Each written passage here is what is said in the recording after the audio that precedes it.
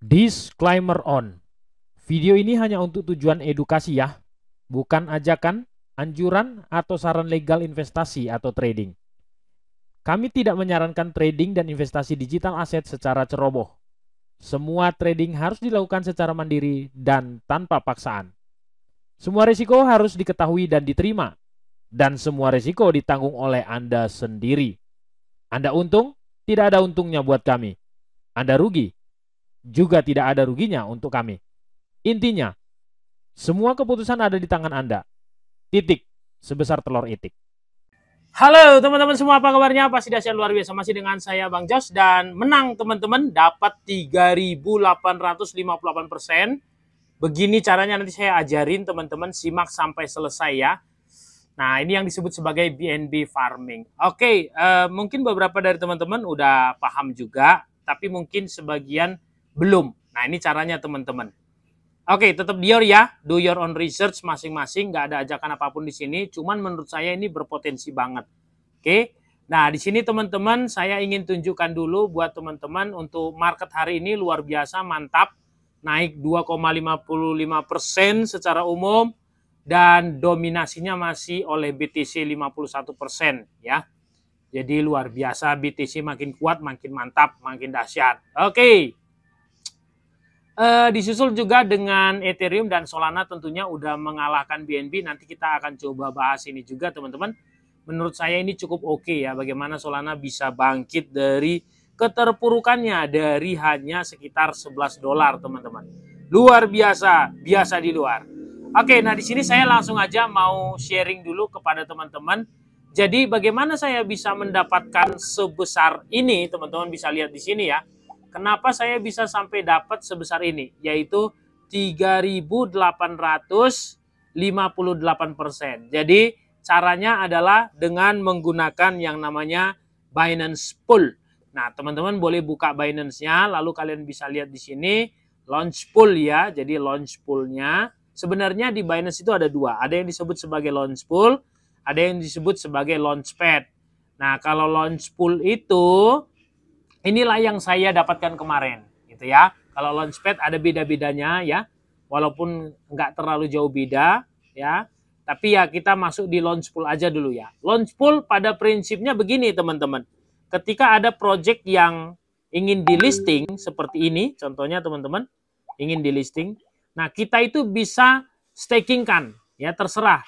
Ini yang mereka buat yaitu TUSD kemudian ada FDUSD dan ada BNB pool. Artinya kalau kalian punya TUSD boleh kalian stake di sini. Kalau kalian punya FDUSD kalian boleh stake di sini. Dan kalau kalian punya BNB daripada BNB kalian nganggur, ya kalian bisa stake di sini.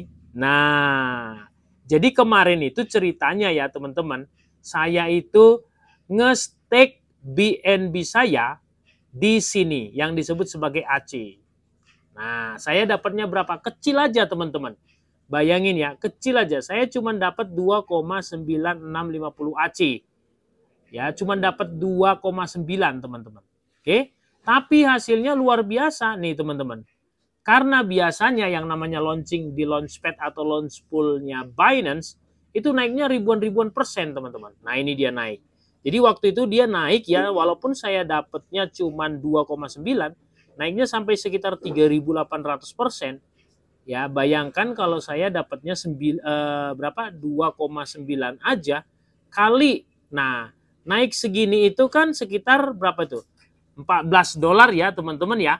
Lumayan, teman-teman. 14 dolar kali 14 dolar sama dengan itu 40 dolar, teman-teman. Kalau dikalikan dengan 15 ribu aja itu sama dengan udah 600 ribu, teman-teman.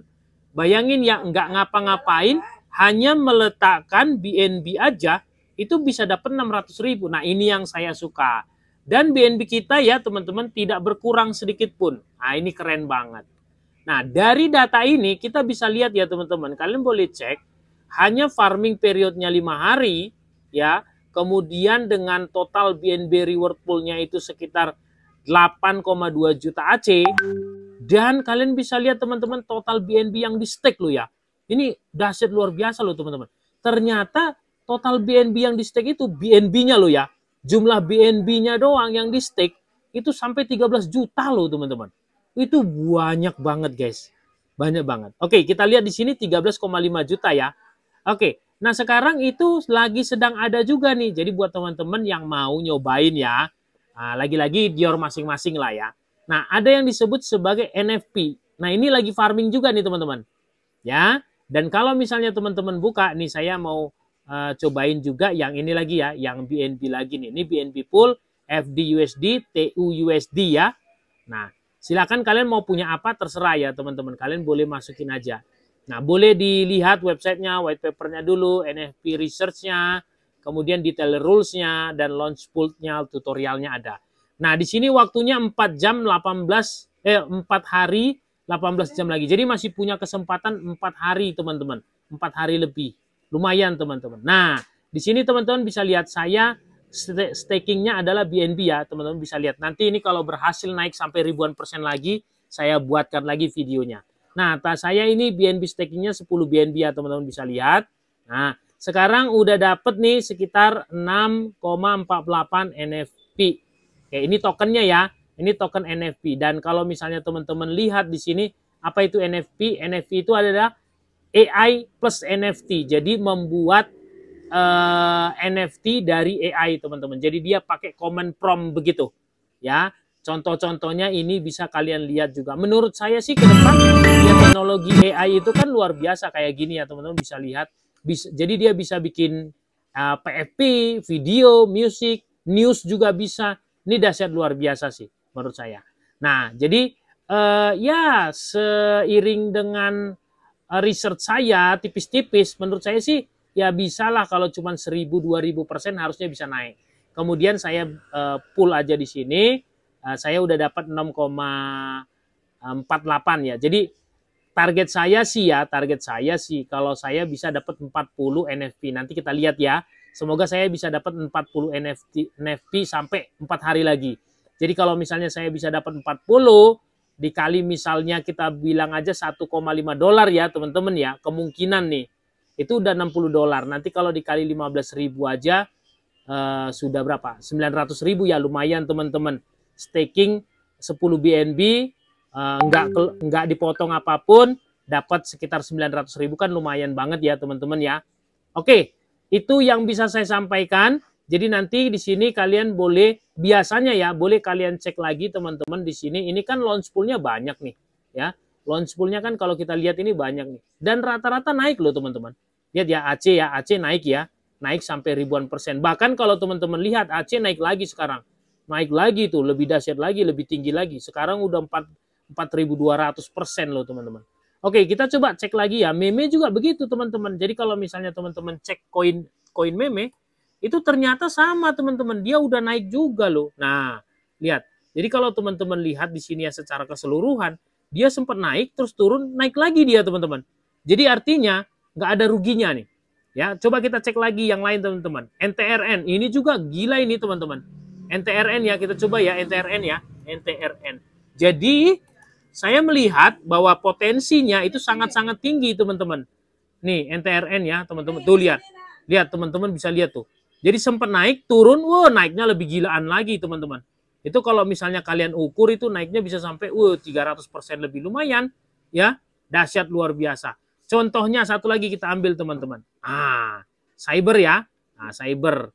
Kita cek lagi teman-teman cyber. Nah ini teman-teman kita cek. Ini juga hitungannya sama teman-teman. Lihat. Tuh. Naik dulu, habis itu turun, naik lagi, dan sekarang naik.